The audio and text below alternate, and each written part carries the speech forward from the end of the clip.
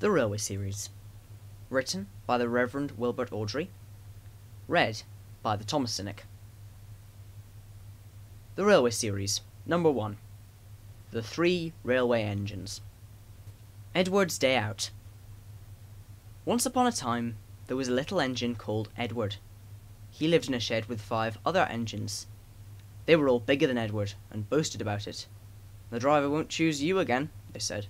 He wants big, strong engines like us. Edward had not been out for a long time. He began to feel sad. Just then, the driver and fireman came along to start work. The driver looked at Edward. Why are you sad? he asked. Would you like to come out today? Yes, please, said Edward. So the fireman lit the fire and made a nice lot of steam. Then the driver pulled the lever, and Edward puffed away. Peep, peep, he whistled. Look at me now. The others were very cross at being left behind. Away went Edward to get some coaches. Be careful, Edward, said the coaches. Don't bump and bang us like the other engines do. So Edward came up to the coaches, very, very gently, and the shunter fastened the coupling. Thank you, Edward, said the coaches. That was kind. We are glad you are taking us today. Then they went to the station, where the people were waiting. Peep, peep, whistled Edward. Getting quickly, please. So the people got in quickly, and Edward waited happily for the guard to blow his whistle and wave his green flag. He waited and waited. There was no whistle, no green flag. Peep, peep, peep, peep. Where is that guard? Edward was getting anxious. The driver and fireman asked the station master, Have you seen the guard?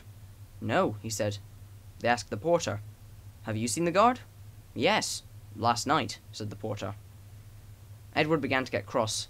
Are we ever going to start? he said. Just then, a little boy shouted, Here he comes!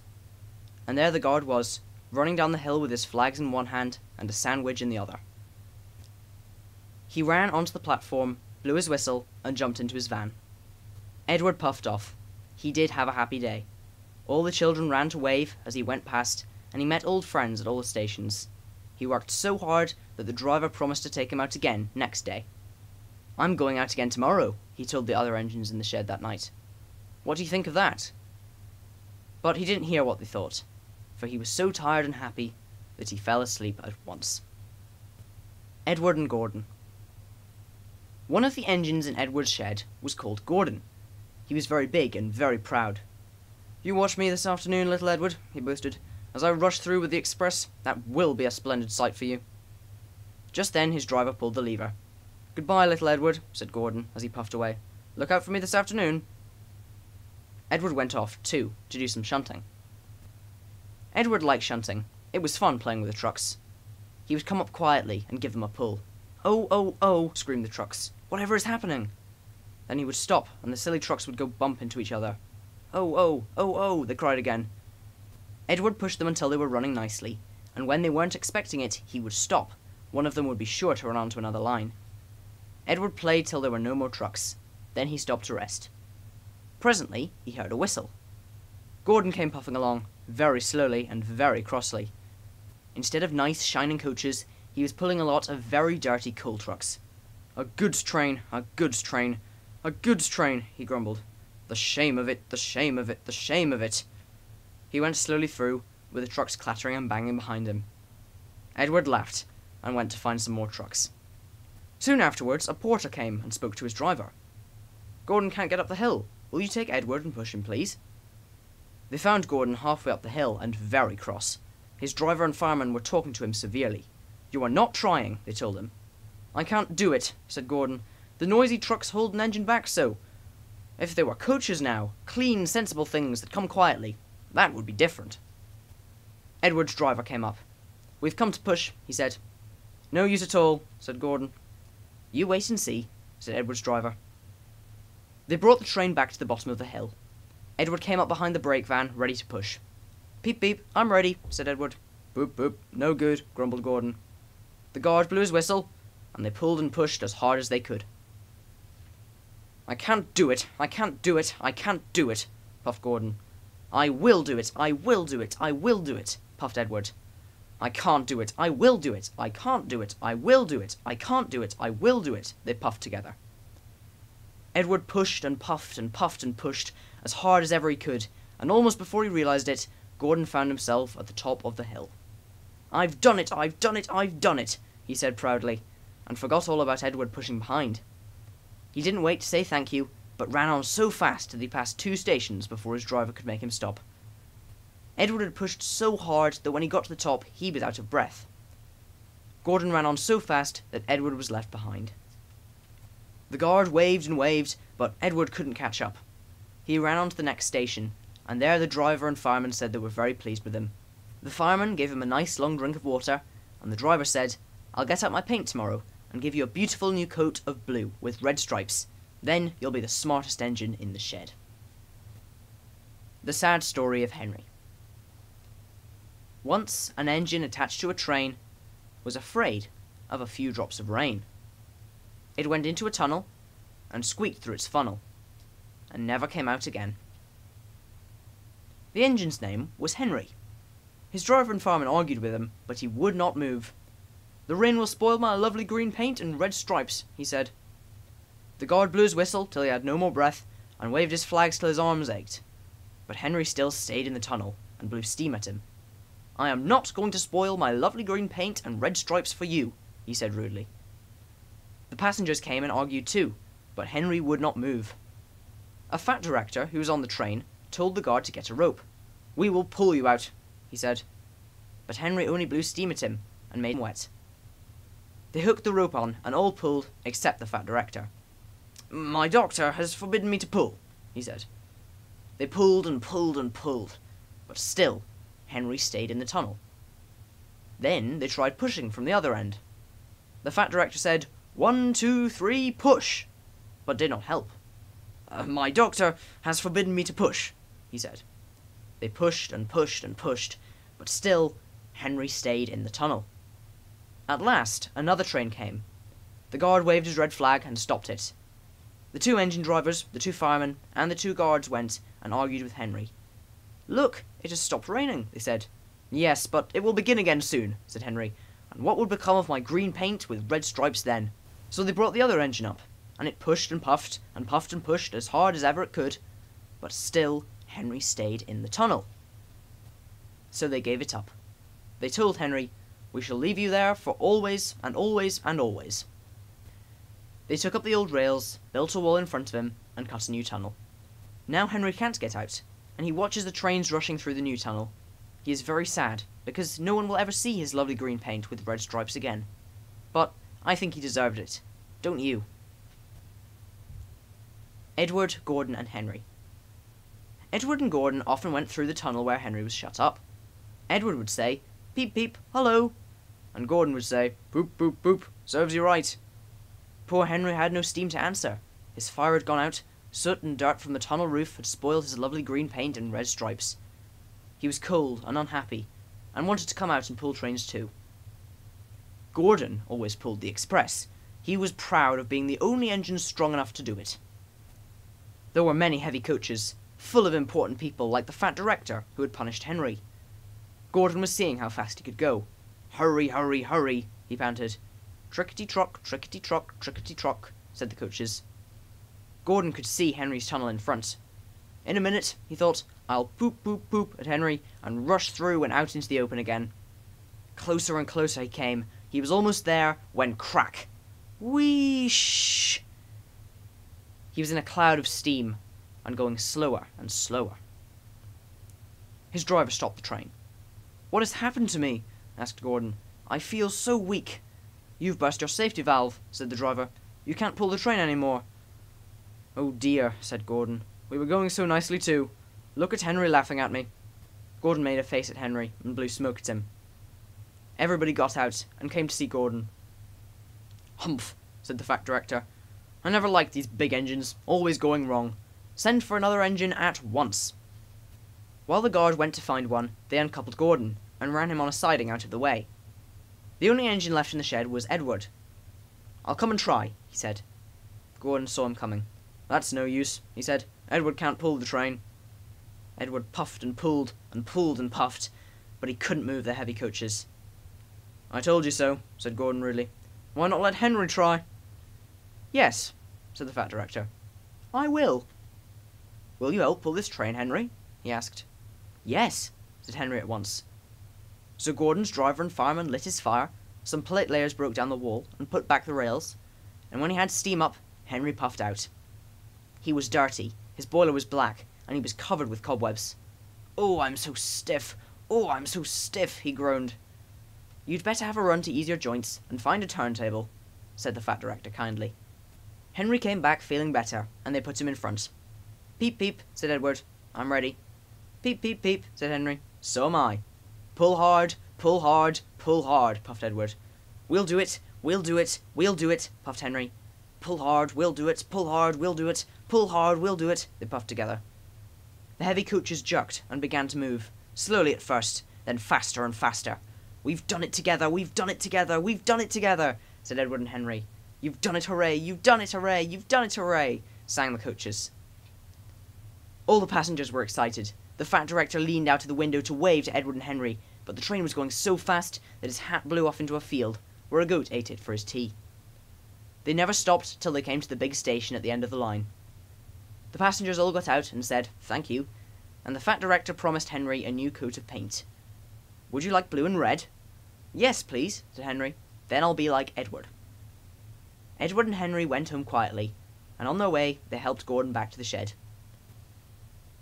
All three engines are now great friends. Wasn't Henry pleased when he had his new coat?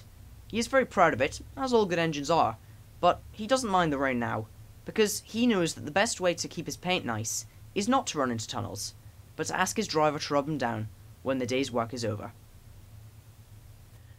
The Railway Series, Number 2 Thomas the Tank Engine. Dear Christopher, here is your friend Thomas the Tank Engine. He wanted to come out of his station yard and see the world. These stories will tell you how he did it. I hope you will like them because you helped me to make them. Your loving Daddy. Thomas and Gordon. Thomas was a tank engine who lived at a big station. He had six small wheels, a short stumpy funnel, a short stumpy boiler, and a short stumpy dome. He was a fussy little engine, always pulling coaches about. He pulled them to the station, ready for the big engines to take out on long journeys, and when trains came in and the people had got out, he would pull the empty coaches away, so that the big engines could go and rest. He was a cheeky little engine too. He thought no engine worked as hard as he did. So he used to play tricks on them. He liked best of all to come quietly beside a big engine, dozing on a siding, and make him jump. Beep beep, beep, beep beep, wake up lazybones, he would whistle. Why don't you work hard like me? Then he would laugh rudely and run away to find some more coaches. One day, Gordon was resting on a siding. He was very tired. The big express he always pulled had been late, and he had had to run as fast as he could to make up for lost time. He was just going to sleep when Thomas came up in his cheeky way. Wake up, lazybones, he whistled. Do some hard work for a change. You can't catch me. And he ran off laughing. Instead of going to sleep again, Gordon thought how he could pay Thomas out. One morning, Thomas wouldn't wake up. His driver and fireman couldn't make him start. His fire went out, and there was not enough steam. It was nearly time for the express. The people were waiting, but the coaches weren't ready. At last Thomas started. Oh dear, oh dear, he yawned. Come on, said the coaches, hurry up. Thomas gave them a rude bump and started for the station. Don't stop dawdling, don't stop dawdling, he grumbled. Where have you been? Where have you been? asked the coaches crossly. Thomas fussed into the station where Gordon was waiting. Boop, boop, boop. Hurry up, you, said Gordon crossly. Peep, peep, peep. Hurry yourself, said Cheeky Thomas. Yes, said Gordon, I will. And almost before the coaches had stopped moving, Gordon came out of his siding and was coupled to the train. Boop boop, he whistled. Get in quickly, please. So the people got in quickly, the signal went down, the clock struck the hour, the guard waved his green flag, and Gordon was ready to start. Thomas usually pushed behind the big trains to help them start, but he was always uncoupled first, so that when the train was running nicely, he could stop and go back.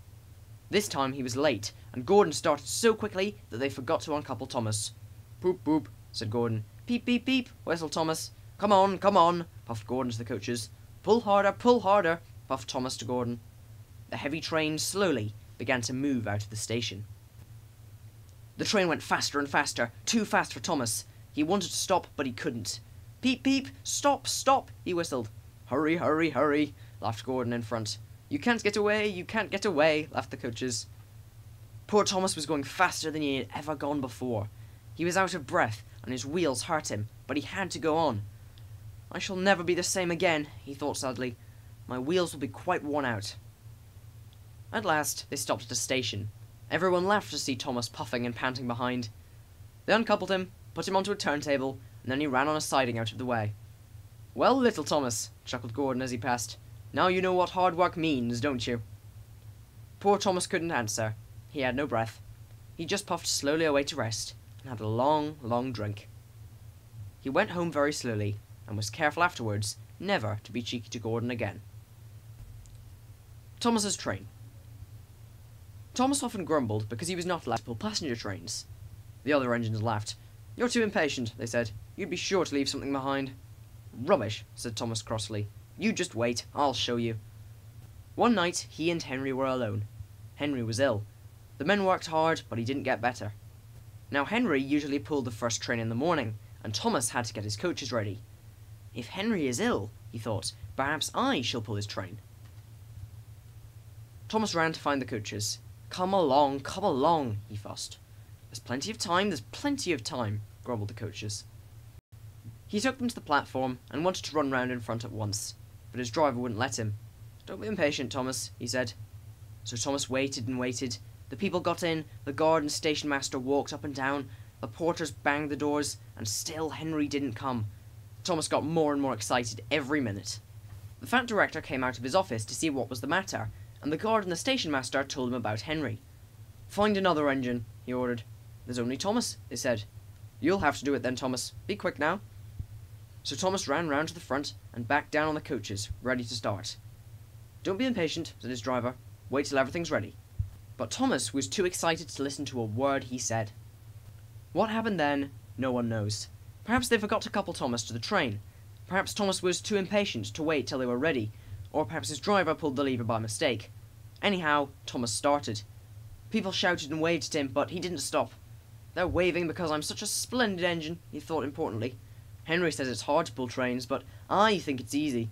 Hurry, hurry, hurry, he puffed, pretending to be like Gordon. As he passed the first signal box, he saw the men leaning out, waving and shouting. They're pleased to see me, he thought. They've never seen me pulling a train before. It's nice of them to wave.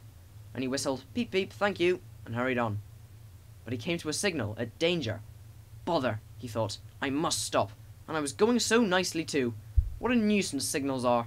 And he blew an angry peep peep on his whistle. One of the signalmen ran up. Hello, Thomas, he said. What are you doing here? I'm pulling a train, said Thomas proudly. Can't you see? Where are your coaches then? Thomas looked back. Why, bless me, he said, if we haven't left them behind. Yes, said the signalman. You'd better go back quickly and fetch them. Poor Thomas was so sad he nearly cried. Cheer up, said his driver. Let's go back quickly and try again. At the station, all the passengers were talking at once. They were telling the fat director, the station master, and the guard what a bad railway it was. But when Thomas came back and they saw how sad he was, they couldn't be cross. So they coupled him to the train, and this time he really pulled it. But for a long time afterwards, the other engines laughed at Thomas and said, Look, there's Thomas, who wanted to pull a train but forgot about the coaches. Thomas and the trucks. Thomas used to grumble in the shed at night. I'm tired of pushing coaches. I want to see the world. The others didn't take much notice, for Thomas was a little engine with a long tongue. But one night, Edward came to the shed. He was a kind little engine, and felt sorry for Thomas. I've got some trucks to take home tomorrow, he told him. If you take them instead, I'll push coaches in the yard. Thank you, said Thomas. That will be nice. So they asked their drivers next morning, and when they said yes, Thomas ran happily to find the trucks. Now, trucks are silly and noisy. They talk a lot and don't attend to what they are doing. They don't listen to their engine, and when he stops, they bump into each other, screaming, Oh, oh, oh, oh, whatever is happening? And, I'm sorry to say, they play tricks on an engine who is not used to them. Edward knew all about trucks. He warned Thomas to be careful, but Thomas was too excited to listen. The shunter fastened the coupling, and when the signal dropped, Thomas was ready. The guard blew his whistle. Peep, peep, answered Thomas, and started off. But the trucks weren't ready. Oh, oh, oh, oh, they screamed as their couplings tightened. Wait, Thomas, wait! But Thomas wouldn't wait. Come on, come on, he puffed. And the trucks grumbled slowly out of the siding, onto the main line. Thomas was happy. Come along, come along, he puffed. All right, don't fuss, all right, don't fuss, grumbled the trucks. They clattered through stations and rumbled over bridges. Thomas whistled peep peep, and they rushed through the tunnel in which Henry had been shut up. Then they came to the top of the hill where Gordon had stuck. Steady now, steady, warned the driver, and he shut off steam and began to put on the brakes. We're stopping, we're stopping, called Thomas. No, no, no, no, answered the trucks and bumped into each other. Go on, go on! And before his driver could stop them, they had pushed Thomas down the hill and were rattling and laughing behind him. Poor Thomas tried hard to stop them from making him go too fast. Stop pushing, stop pushing, he hissed. But the trucks would not stop. Go on, go on, they giggled in their silly way. He was glad when they got to the bottom. Then he saw in front the place where they had to stop. Oh dear, what shall I do? They rattled through the station, and luckily the line was clear as they swerved into the goods yard. Oh, groaned Thomas, as his brakes held fast and he skidded along the rails. I must stop, and he shut his eyes tight. When he opened them, he saw he had stopped just in front of the buffers, and there watching him was the fat director. What are you doing here, Thomas? he asked sternly. I've brought Edward's trucks, Thomas answered. Why did you come so fast? I didn't mean to. I was pushed, said Thomas sadly. Haven't you pulled trucks before? No. Then you've a lot to learn about trucks, little Thomas. They're silly things and must be kept in their place. After pushing them about here for a few weeks, you'll know almost as much about them as Edward. Then, you'll be a really useful engine. Thomas and the breakdown train. Every day the fat director came to the station to catch his train, and he always said hello to Thomas. There were lots of trucks in the yard, different ones came in every day, and Thomas had to push and pull them into their right places. He worked hard. He knew now that he wasn't so clever as he had thought. Besides, the fat director had been kind to him, and he wanted to learn all about trucks so as to be a really useful engine. But on a siding, by themselves, were some trucks that Thomas was told he mustn't touch. There was a small coach, some flat trucks, and two queer things his driver called cranes. That's the breakdown train, he said. When there's an accident, the workmen get into the coach and the engine takes them quickly to help the hurt people and to clear and mend the line. The cranes are for lifting heavy things like engines and coaches and trucks. One day, Thomas was in the yard when he heard an engine whistling. Help! Help! And a goods train came rushing through much too fast. The engine, a new one called James, was frightened. His brake blocks were on fire, and smoke and sparks streamed out on each side. They're pushing me! They're pushing me! he panted. On, on, on, on! laughed the trucks, and still whistling, Help, help! Poor James disappeared under a bridge. I'd like to teach those trucks a lesson, said Thomas the Tank Engine. Presently, a bell rang in the signal box, and a man came running. James is off the line! The breakdown train! Quickly! he shouted. So Thomas was coupled on, the workmen jumped into their coach, and off they went. Thomas worked his hardest. Hurry, hurry, hurry, he puffed. And this time he wasn't pretending to be like Gordon. He really meant it.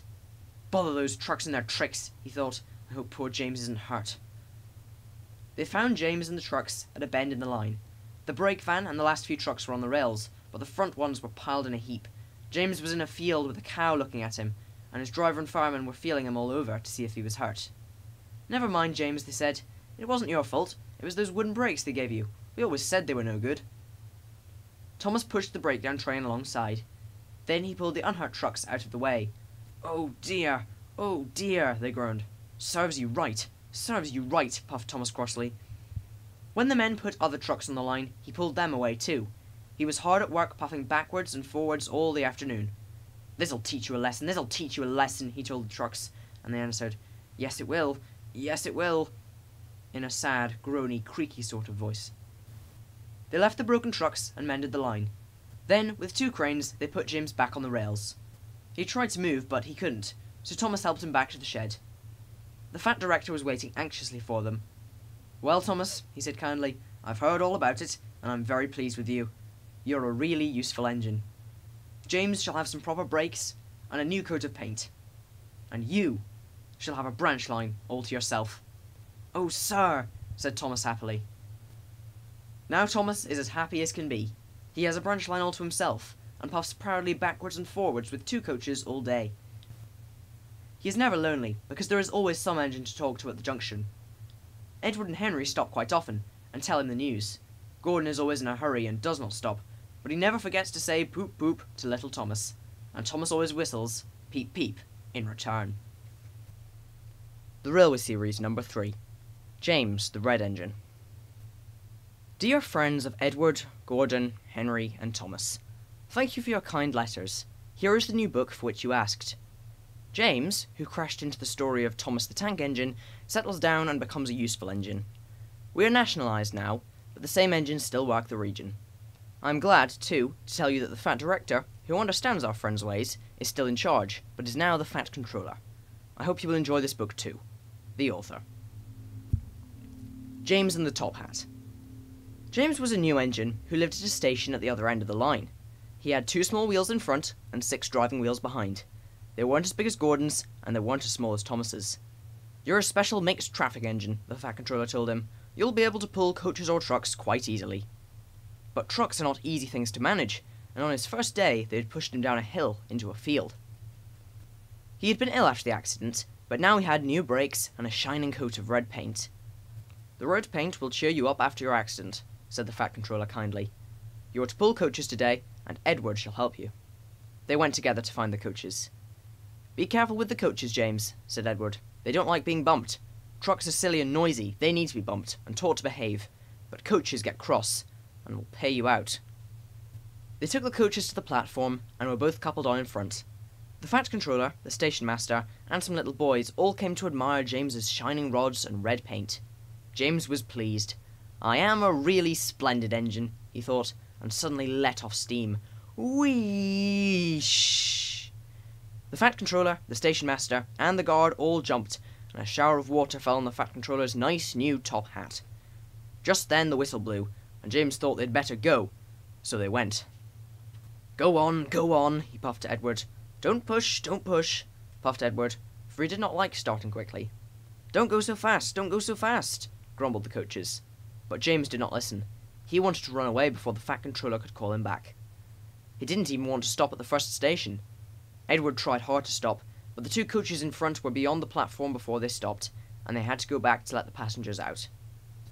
Lots of people came to look at James, and, as no one seemed to know about the Fat Controller's top hat, James felt happier. Presently, they came to the junction where Thomas was waiting with his two coaches. Hello, James, said Thomas kindly. Feeling better? That's right. Ah, my guard's whistle. I must go. Sorry I can't stop. I don't know what the Fat Controller would do without me to run this branch line.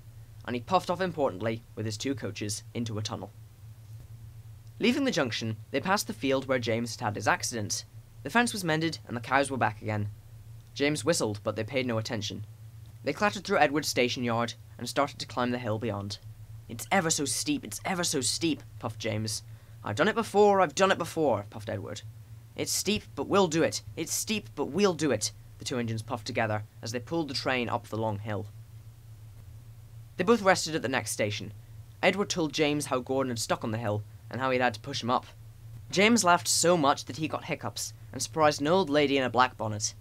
She dropped all her parcels, and the three porters, the station master, and the guard had to run after her picking them up. James was quiet in the shed that night. He had enjoyed his day, but he was a little afraid of what the Fat Controller would say about the top hat. James and the bootlace. Next morning, the Fat Controller spoke severely to James. If you can't behave, I shall take away your red coat and have you painted blue. James did not like that at all, and he was very rough with the coaches as he brought them to the platform. Come along, come along, he called rudely. All in good time, all in good time, the coaches grumbled. Don't talk, come on, answered James. And with the coaches squealing and grumbling after him, he snorted into the station. James was cross that morning. The Fat Controller had spoken to him, the coaches had dawdled, and, worst of all, he had had to fetch his own coaches. Gordon never does, thought James, and he is only painted blue. A splendid red engine like me should never have to fetch his own coaches. And he puffed and snorted round to the front of the train, and backed onto it with a rude bump. Oh, groaned the coaches. That was too bad. To make James even more cross, he then had to take the coaches to a different platform, where no one came near him as he stood there. The, the Fat Controller was in his office, the station master was at the other end of the train, with the guard, and even the little boys stood a long way off. James felt lonely. I'll show them, he said to himself. They think Gordon is the only engine who can pull coaches. And as soon as the guard's whistle blew, he started off with a tremendous jerk. Come on, come on, come on, he puffed, and the coaches, squeaking and groaning in protest, clattered over the points onto the open line. Hurry, hurry, hurry, puffed James. You're going too fast, you're going too fast, said the coaches. And indeed, they were going so fast that they swayed from side to side. James laughed and tried to go faster, but the coaches wouldn't let him. We're going to stop. We're going to stop. We are going to stop, they said, and James found himself going slower and slower. What's the matter? James asked his driver. The brakes are hard on, leaking the pipe most likely. You've banged the coaches enough to make a leak in anything. The guard and the driver got down and looked at the brake pipes all along the train. At last they found a hole where rough treatment had made a joint work loose. How shall we mend it? said the guard. James's driver thought for a moment. We'll do it with newspapers and a leather bootlace. Well, where is the bootlace coming from? asked the guard. We haven't one. Ask the passengers, said the driver. So the guard made everyone get out. Has anybody got a leather bootlace? he asked. They all said no, except one man in a bowler hat, whose name was Jeremiah Jobling, who tried to hide his feet. You have a leather bootlace there, I see, sir, said the guard. Please give it to me. I won't, said Jeremiah Jobling. Then, said the guard sternly, I'm afraid this train will just stop where it is. Then the passengers all told the guard, the driver, and the fireman what a bad railway it was. But the guard climbed into his van, and the driver and fireman made James let off steam. So they all told Jeremiah Jobling he was a bad man instead. At last he gave them his laces, the driver tied a pad of newspapers tightly around the hull, and James was able to pull the train. But he was a sadder and a wiser James, and took care never to bump coaches again. Troublesome trucks. James did not see the Fat Controller for several days. They left James alone in the shed, and did not even allow him to go out and push coaches and trucks in the yard. Oh dear, he thought sadly. I'll never be allowed out any more. I shall have to stay in this shed for always, and no one will ever see my red coat again. Oh dear, oh dear. James began to cry. Just then, the Fat Controller came along. I see you are sorry, James, he said. I hope, now, that you will be a better engine. You have given me a lot of trouble. People are laughing at my railway, and I do not like that at all. I'm very sorry, sir, said James. I will try hard to behave. That's a good engine, said the Fat Controller kindly. I want you to pull some trucks for me. Run along and find them. So James puffed happily away. Here are your trucks, James, said the little tank engine. Have you got some bootlaces ready? And he ran off laughing rudely. Oh, oh, oh, said the trucks, as James backed down hard on them. We want a proper engine, not a red monster. James took no notice, and started as soon as the guard was ready. Come along, come along, he puffed. We won't, we won't, screamed the trucks. But James didn't care, and he pulled the screeching trucks sternly out of the yard. The trucks tried hard to make him give up, but he still kept on. Sometimes their brakes would slip on, and sometimes their axles would run hot. Each time they would have to stop and put the trouble right, and each time James would start again, determined not to let the trucks beat him. Give up, give up, you can't pull us, you can't, you can't, called the trucks. I can, and I will, I can and I will, puffed James. And slowly but surely, he pulled them along the line. At last they saw Gordon's Hill ahead. Look out for trouble, James, warned his driver. We'll go fast and get them up before they know it. Don't let them stop you. So James went faster, and they were soon halfway up the hill. I'm doing it, I'm doing it, he panted. But it was hard work. Will the top never come, he thought, when with a sudden jerk, it all came easier. I've done it! I've done it! He puffed triumphantly. Hurrah, he thought. It's easy now. But his driver shut off steam. They've done it again, he said. We've left our tail behind. The last ten trucks were running backwards down the hill. The coupling had snapped. But the guard was brave. Very carefully and cleverly he made them stop. Then he got out and walked down the line with his red flag. That's why it was easy, said James as he backed the other trucks carefully down. What silly things trucks are. There might have been an accident. Meanwhile, the guard stopped Edward, who was pulling three coaches. Shall I help you, James? Called Edward. No, thank you, answered James. I'll pull them myself. Good. Don't let them beat you. So James got ready. Then, with a peep peep, he was off. I can do it. I can do it, he puffed. He pulled and puffed as hard as he could. Peep, peep, peep, peep. You're doing well, whistled Edward, as James slowly struggled up the hill, with clouds of smoke and steam pouring from his funnel. I've done it! I've done it! He panted and disappeared over the top. They reached their station safely. James was resting in the yard when Edward puffed by with a cheerful peep peep. Then, walking towards them across the rails, James saw the Fat Controller. Oh dear, what will he say? he asked himself sadly. But the Fat Controller was smiling. I was in Edward's train, and saw everything, he said. You've made the most troublesome trucks on the line behave. After that, you deserve to keep your red coat. James and the Express. Sometimes Gordon and Henry slept in James's shed, and they would talk of nothing but bootlaces. James would talk about engines who got shut up in tunnels and stuck on hills, but they wouldn't listen, and went on talking and laughing.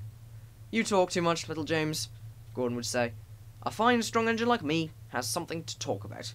I'm the only engine who can pull the express. When I'm not there, they need two engines. Think of that. I've pulled expresses for years. I've never once lost my way. I seem to know the right line by instinct, said Gordon proudly. Every wise engine knows, of course, that the signalman works the points to make engines run on the right lines, but Gordon was so proud that he had forgotten. Wake up, James, he said next morning. It's nearly time for the express. What are you doing? Odd jobs? Ah, well, we all have to begin somewhere, don't we? Run along now and get my coaches. Don't be late now. James went to get Gordon's coaches. They were now all shining with lovely new paint. He was careful not to bump them, and they followed him smoothly into the station, singing happily. We're going away, we're going away. I wish I was going with you, said James. I should love to pull the express and go flying along the line. He left them in the station and went back to the yard, just as Gordon, with much noise and blowing of steam, backed onto the train. The Fat Controller was on the train with other important people, and, as soon as they heard the guard's whistle, Gordon started. Look at me now, look at me now, he puffed, and the coaches glided after him out of the station. Poop, poop, poop. Goodbye, little James. See you tomorrow. James watched the train disappear round a curve, and then went back to work. He pushed some trucks into their proper sidings, and went to fetch the coaches for another train. He brought the coaches to the platform, and was just being uncoupled when he heard a mournful, quiet shush, shush. And there was Gordon, trying to sidle into the station without being noticed. Hello, Gordon. Is it tomorrow? asked James. Gordon didn't answer. He just let off steam feebly. Did you lose your way, Gordon? No, it was lost for me, he answered crossly. I was switched off the main line onto the loop. I had to go all round and back again. Perhaps it was instinct, said James brightly. Meanwhile, all the passengers hurried to the booking office. We want our money back, they shouted. Everyone was making a noise, but the fat controller climbed on a trolley and blew the guard's whistle so loudly that they all stopped to look at him. Then he promised them a new train at once. Gordon can't do it, he said. Will you pull it for us, James? Yes, sir. I'll try. So James was coupled on, and everyone got in again. Do your best, James, said the Fat Controller kindly. Just then, the whistle blew, and he had to run to get in. Come along, come along, puffed James. You're pulling us well, you're pulling us well, sang the coaches. Hurry, hurry, hurry, puffed James.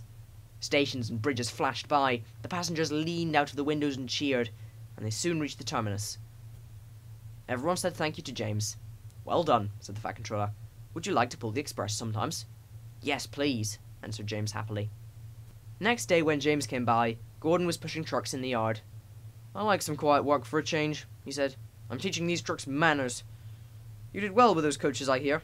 Good. We'll show them. And he gave his trucks a bump, making them cry, Oh, oh, oh, oh. James and Gordon are now good friends. James sometimes takes the express to give Gordon a rest. Gordon never talks about bootlaces, and they are both quite agreed on the subject of trucks. The Railway Series, Number 4 Tank Engine Thomas again. Dear friends, here is news from Thomas's branch line. It is clearly no ordinary line, and life on it is far from dull. Thomas asks me to say that, if you are ever in the region, you must be sure to visit him and travel on his line. They will never have seen anything like it, he says proudly. I know I haven't. The author. Thomas and the Guard. Thomas the Tank Engine is very proud of his branch line. He thinks it is the most important part of the whole railway.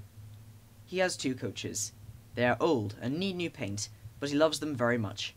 He calls them Annie and Clarabel. Annie can only take passengers, but Clarabel can take passengers, luggage, and the guard. As they run backwards and forwards along the line, Thomas sings them little songs, and Annie and Clarabel sing too. When Thomas starts from a station, he sings, Oh, come along, we're rather late. Oh, come along, we're rather late. And the coaches sing, We're coming along, we're coming along. They don't mind what Thomas says to them because they know he is trying to please the Fat Controller. And they know, too, that if Thomas is cross, he is not cross with them. He is cross with the engines on the main line, who have made him late. One day they had to wait for Henry's train. It was late. Thomas was getting crosser and crosser. How can I run my line properly if Henry is always late? He doesn't realise that the Fat Controller depends on me. And he whistled impatiently.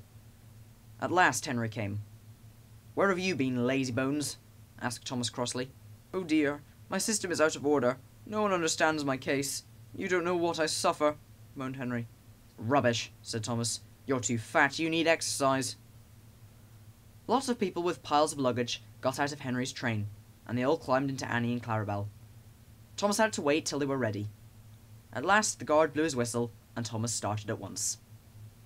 The guard turned round to jump into his van, tripped over an old lady's umbrella, and fell flat on his face.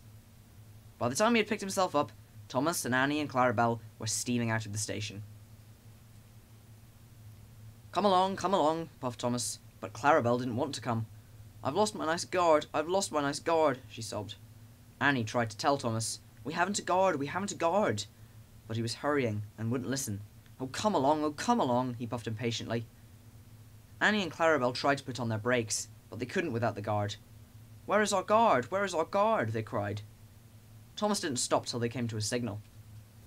Bother that signal, said Thomas. What's the matter? I don't know, said his driver. The guard will tell us in a minute. They waited and waited, but the guard didn't come. Peep, peep, peep, peep, where's the guard? whistled Thomas. We've left him behind, sobbed Annie and Clarabel together. The driver, fireman, and the passengers looked, and there was the guard running as fast as he could along the line, with his flags in one hand and his whistle in the other. Everybody cheered him. He was very hot, so he sat down and had a drink, and told them all about it.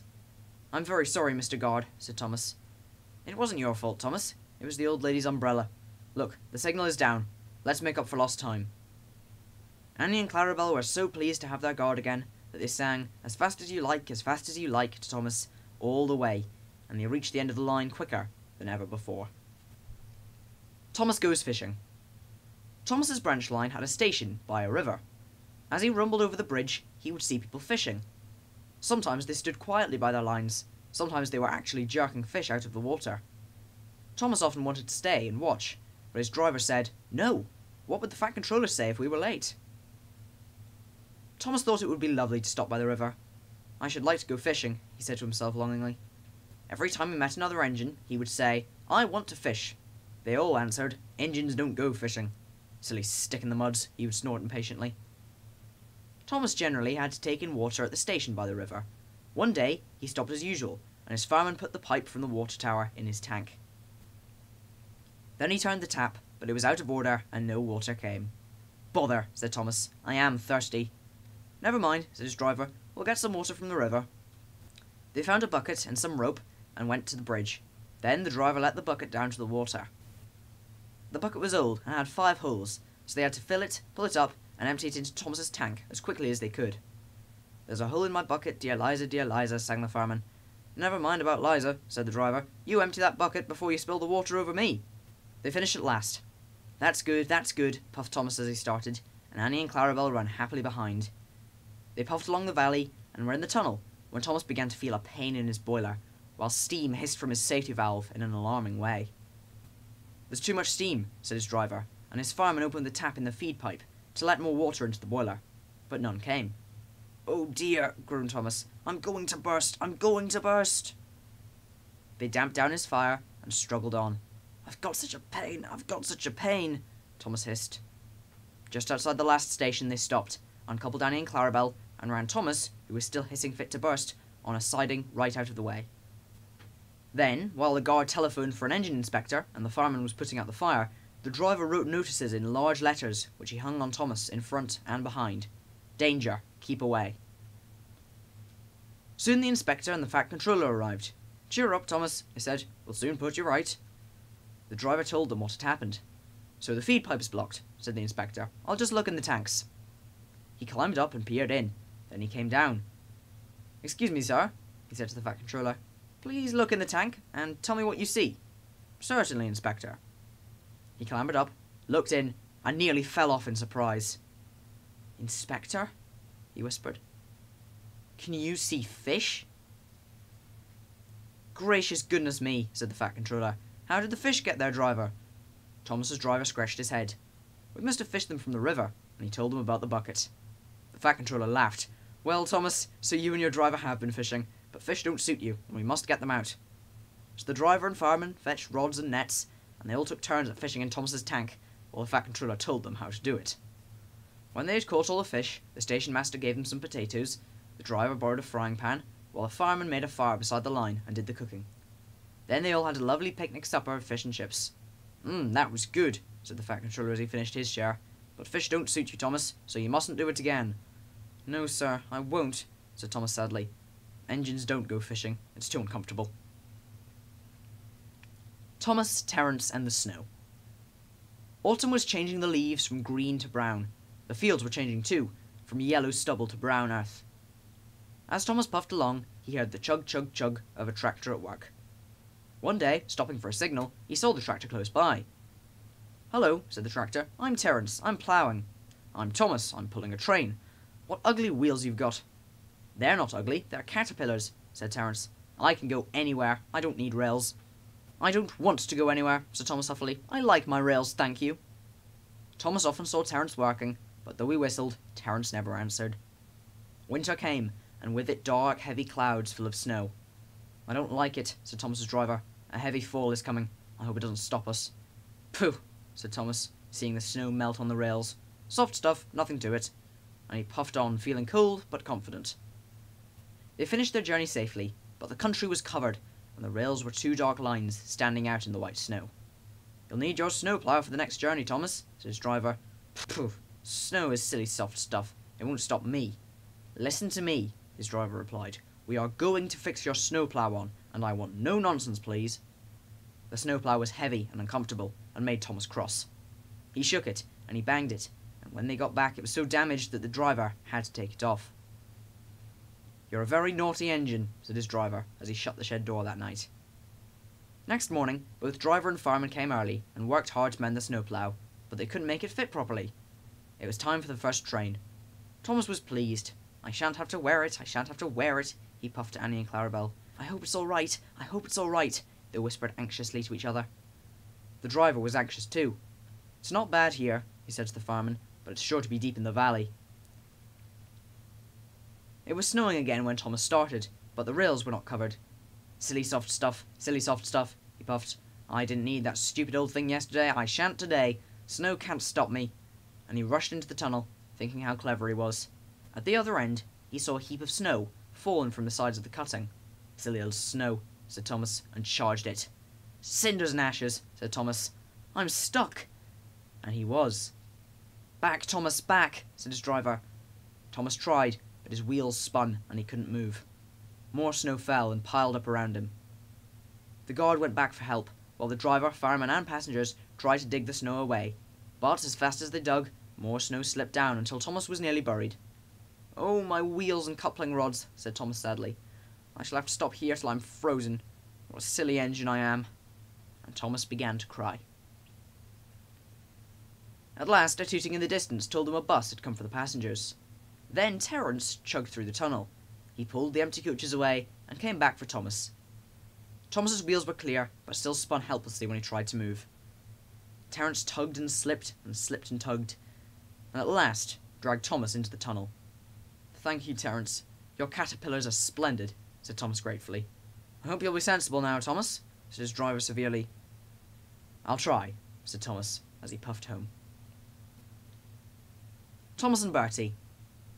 One day, Thomas was waiting at the junction when a bus came into the yard. Hello, said Thomas. Who are you? I'm Bertie. Who are you? I'm Thomas. I run this line. See, you're Thomas. Ha, I remember now. You stuck in the snow. I took your passengers and Terence pulled you out. I've come to help you with your passengers today. Help me? said Thomas crossly, going bluer than ever and letting off steam.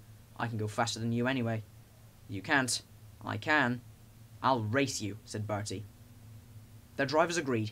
The station master said, Are you ready? Go! And they were off.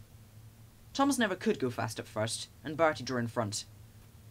Thomas was running well, but he did not hurry. Why don't you go fast? Why don't you go fast? called Annie and Clarabel anxiously. Wait and see, wait and see, hissed Thomas. He's a long way ahead, a long way ahead, they wailed. But Thomas didn't mind.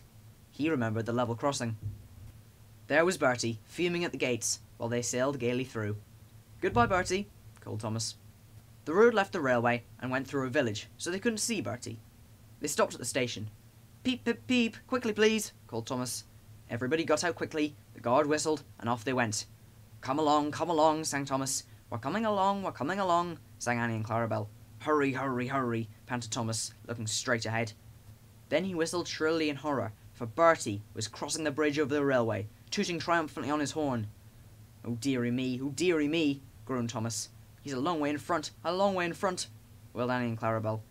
Steady, Thomas, said his driver. We'll beat Bertie yet. We'll beat Bertie yet, we'll beat Bertie yet, echoed Annie and Clarabel. We'll do it, we'll do it, panted Thomas bravely. Oh bother, there's a station. As he stopped, he heard a toot. Goodbye, Thomas, you must be tired. Sorry I can't stop. We buses have to work, you know. Goodbye. The next station was by the river. They got there quickly, but the signal was up. Oh dear, thought Thomas, we've lost. But he felt better after a drink. Then James rattled through with a goods train, and the signal dropped, showing the line was clear. Hurrah, we're off! Hurrah, we're off! puffed Thomas gaily. As they rumbled over the bridge, they heard an impatient toot toot, and there was Bertie waiting at the red light, while cars and lorries crossed the narrow bridge in the opposite direction. Road and railway ran up the valley side by side, a stream tumbling between them. Thomas had not crossed the bridge when Bertie started with a roar and soon shot ahead. Excited passengers in the train and bus cheered and shouted across the valley. Now Thomas reached his full speed, and foot by foot, yard by yard, he gained, till they were running level. Bertie tried hard, but Thomas was too fast. Slowly but surely he drew ahead, till whistling triumphantly, he plunged into the tunnel, leaving Bertie toiling far behind. I've done it, I've done it, panted Thomas in the tunnel. We've done it, hooray, we've done it, hooray, chanted Annie and Clarabel. And whistling proudly, they whooshed out of the tunnel into the last station. The passengers gave Thomas three cheers, and told the station master and the porters all about the race. When Bertie came in, they gave him three cheers too. Well done, Thomas, said Bertie. That was fun, but to beat you over that hill, I should have to grow wings and be an aeroplane. Thomas and Bertie now keep each other very busy. Bertie finds people in the villages who want to go by train, and takes them to Thomas, while Thomas brings people to the station for Bertie to take home. They often talk about their race, but Bertie's passengers don't like being bounced like peas in a frying pan, and the Fat Controller has warned Thomas what happens to engines who race at dangerous speeds. So although, between you and me, they would like to have another race, I don't think they ever will.